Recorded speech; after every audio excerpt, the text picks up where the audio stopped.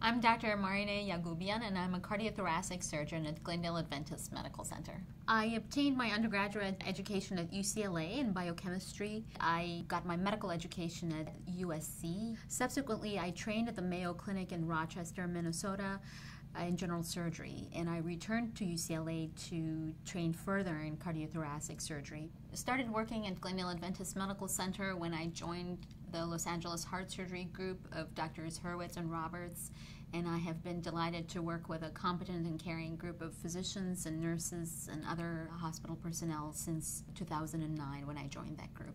I believe the optimal outcome for a patient in cardiac surgery is one when a patient returns to a full functional level appropriate for their age after recovery from a big operation. I chose the field of cardiac surgery because the function and the anatomy of uh, the heart made sense to me.